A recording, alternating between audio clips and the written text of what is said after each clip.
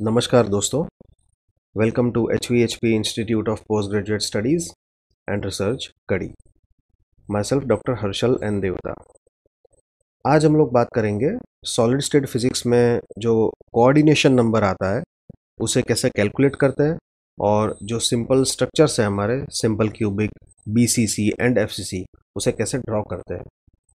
Right but before that let us get introduced to the crystal family हमें पता है कि हमारे पास total seven types of crystal structures है, जैसे cubic orthorhombic tetragonal monoclinic hexagonal trigonal and triclinic and all these seven crystal systems are basically classified because of the lattice parameters ये lattice parameters जो होते हैं, उन्हीं के बेसिस पर ये सात अलग अलग क्रिस्टल सिस्टम्स क्लासीफाई की जाती है।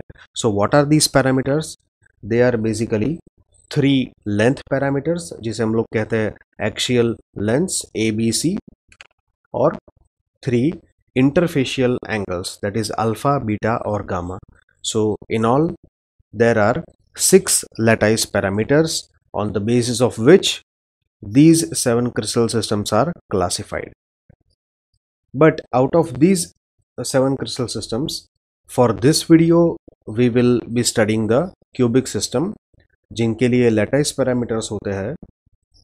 A is equal to B is equal to C मतलब क्यूब की सारी साइड्स इक्वल होती है एंड द इंटरफेशियल एंगल्स मतलब alpha beta gamma all the angles are equal to 90 degree जैसे एक क्यूब होता है। Now we have three different combination here first of all is the simple cubic जो आप देख सकते हैं, एक साधारण सा क्यूब है, जिसके सारे साइड्स इक्वल है A B C all are equal and alpha beta gamma are 90 degree here we have eight corner points जो मैंने सर्कल से रिप्रेजेंट किए हुए हैं। The next we have the body centred cubic जिसमें लेटाइस पैरामीटर्स तो same रहेंगे, लेकिन एट कॉर्नर एटम्स के अलावा एक और atom at the centre of the body will be present right? Which is represented by a black spot here. And the third, we have the face centered cubic. यहाँ पर eight corner atoms रहेंगे और उनके साथ साथ हर एक face के सेंटर में एक एटम रहेगा। Since it's a cube we know that we will be having six different faces and therefore there are six face centred atoms other than the eight corner atoms right so अब इन तीन structures के लिए coordination number कैसे find out करेंगे, ये हम लोग जानेंगे। But before that what is the coordination number so coordination number is the total number of nearest neighbouring atoms for any particular atom किसी भी एक एटम के लिए उसके सबसे नज़दीकी एटम का जो डिस्टेंस होता है राइट right? ऐसे कितने एटम्स उसके सबसे ज़्यादा नज़दीक है? That is the coordination number it is basically a number so it is unitless right so let us understand it first मान लो कि we have a simple cube जिनका लेंथ है ए सो so, सारे लेंथ्स इक्वल है so we have a cube whose length is A अब मान के चलते हैं कि जो ये बीच वाला एटम है ब्लैक कलर के मैंने कुछ एटम्स दिखाए हुए जो बीच वाला एटम है it is connected to four other atoms and the distance between all those atoms is A right it is a constant distance so हम लोग क्या बोलेंगे? कि ऐसे क्यूबिक सिस्टम का जो यहाँ पर फिगर में दिखाया जा रहा है ये एक सेंट्रल एटम दूसरे चार एटम से कनेक्टेड है। सो so, इस पर्टिकुलर फिगर के लिए कोऑर्डिनेशन नंबर हो जाएगा four for that particular atom but अगर हम लोग एफसीसी के बारे में बात करेंगे that is face centre cubic तब क्या हो जाएगा? इसी फिगर में मैं आपको दिखाता हूँ। हर एक फेस के सेंटर में भी एक एटम रहेगा। लेट से हम लोग एक एग्जांपल लेते हैं, जैसे ये फेस है, और इस फेस के सेंटर में एक रेड कलर का एटम प्रेजेंट है ना।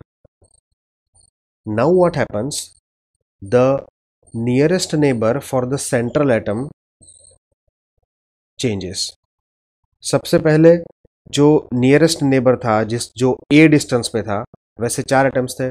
लेकिन सिंस नाउ हम लोग फेस सेंटर के बारे में बात करेंगे तो नियरेस्ट एटम हो जाएगा the red atom why because the distance between the black atom and the red atom is less than A क्योंकि सिंस इट्स अ स्क्वायर हमें पता है कि स्क्वायर का जो साइड है, वो तो ए है। लेकिन अगर हम लोग डायगनल की बात करेंगे, और ये तो डिस्टेंस डायगनल का भी हाफ़ है so that is obviously less than A so now here the coordination number will change to one one for this particular case अगर ऐसा ही फेस मैं इसके साइड में दिखाऊँगा तो इसका भी सेंटर एटम आएगा। ऐसा ही फेस अगर मैं इसके टॉप पे दिखाऊँगा तो इसका भी सेंटर एटम इससे कनेक्टेड होगा। ऐसा ही फेस अगर इस ग्रीन क्यूब के टॉप सरफेस पे होगा तो वो भी उससे कनेक्टेड होगा। But basically how to understand the coordination number it is the number of total atoms which are the nearest neighbour यहाँ पे कॉर्नर एटम्स अभी हमारे कोऑर्डिनेशन नंबर में नहीं गिने जाएँगे। Right now let us understand it in a more clear way for each of the case so हमारा first case है simple cubic let us imagine a simple cube और हम लोग एक थ्री स्ट्रक्चर बनाने का ट्राई करेंगे. सो so, ये हमारा एक क्यूब है दूसरा तीसरा चौथा. ये चार क्यूब का एक सेट बन गया. And let us assume more such four cubes under it so ये जो आठ क्यूब का ये जो पूरा एक सिस्टम बना हुआ है, ये हमारा एक थ्री सिस्टम डेपिक कर रहा है और जो यहाँ पे हम लोग सेंटर की बात करेंगे, जहाँ पर मेरा माउस का पॉइंटर है, उस पॉइंट को रेफरेंस लेकर हम लोग कोऑर्डिनेशन नंबर फाइंड आउट करेंगे right so let us draw it now यहाँ पर ये जो थ्री में मैंने डायग्राम बनाया है, उसी का ऑन पेपर डायग्राम हम लोग देख सकते हैं इस तरह से। And you can easily understand के दो जो सेंट्रल एटम है it is connected to one two three four five and six atoms so what can I say the coordination number of simple cubic system is six अब हम एक fast forward video में देखेंगे कि ये figure बनाई कैसी है।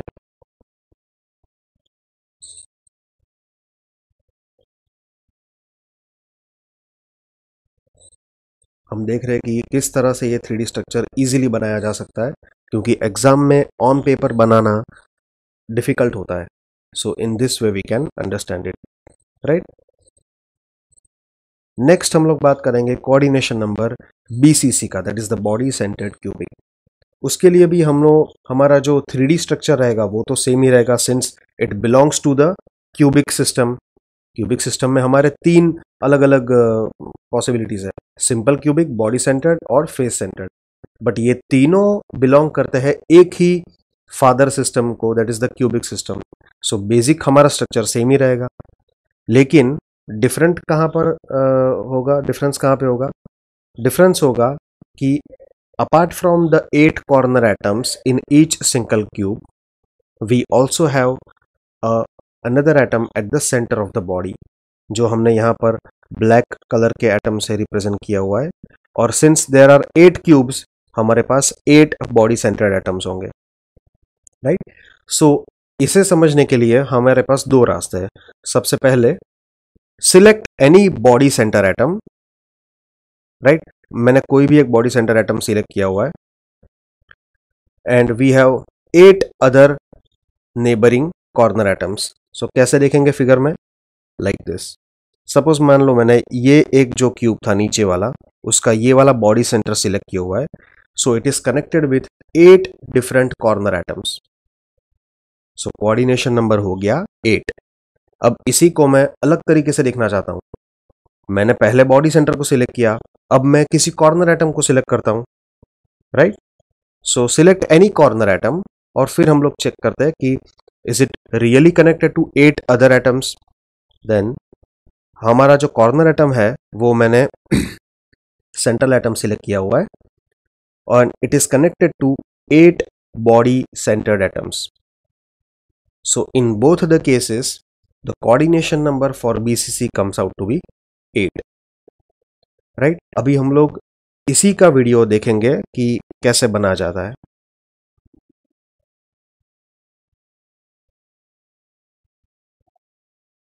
यहाँ पर मैं रिक्वेस्ट करूँगा कि जब भी आप ऑन पेपर बना रहे हो, खास करके एग्ज़ाम में you can try to use different colour pencils और पेन टू जस्ट हाँ अच्छी तरह से उसको रिप्रेजेंट कर सके।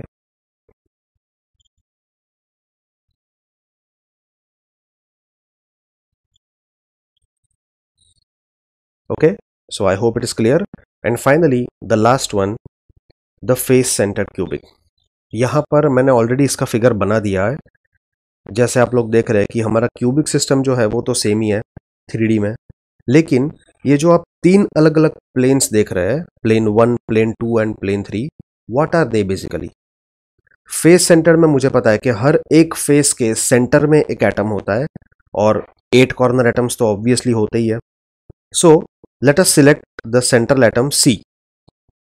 Here, the center atom C is connected with four nearest neighbor face centered atoms for plane 1. जैसे आप लोग देख सकते हैं कि इस प्लेन में ये जो चार एटम्स आप देख रहे हैं, उससे ये सेंटर एटम कनेक्टेड है। Let us understand it okay इसी तरह से प्लेन टू के जो चार एटम्स होंगे, जो फिगर में दिख रहे हैं, एक, दो, तीन, चार, उससे भी ये सेंट्रल एटम सी कनेक्टेड है। Like this. And in the same manner जो हमारा थर्ड प्लेन होगा, उसके सेंट्रल एटम्स में भी point C is connected right so ये सारे जो एटम्स हम लोग देख रहे हैं टोटल बारह एटम्स क्यों?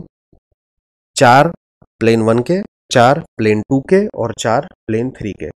सो टोटल ट्वेल्व एटम्स ऐसे हैं, जो इस सेंट्रल एटम सी से नियरेस्ट डिस्टेंस पर है।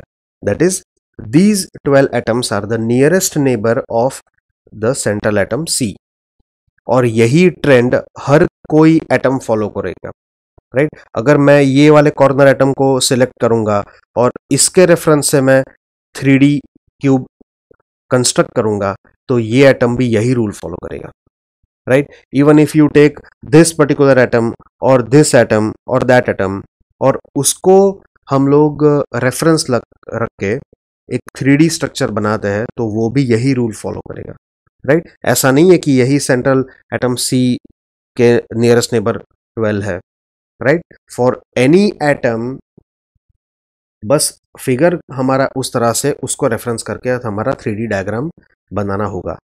But for face centre cubic हर एक प्लेन में हमारे चार नियरेस्ट नेबर होंगे and since it's a three D we have three planes therefore 4 plus 4 plus 4 we have 12 nearest neighbor so the coordination number of fcc is 12 so इसका भी हम लोग video देख लेंगे कैसे बनाते हैं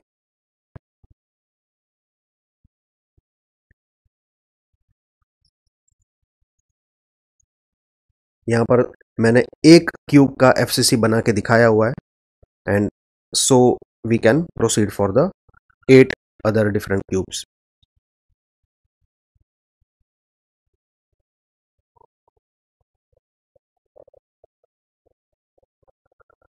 okay? So i hope this thing is clear to you.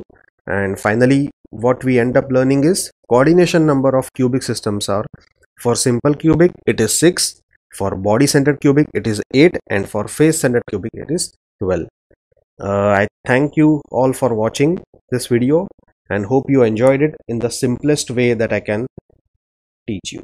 Thank you all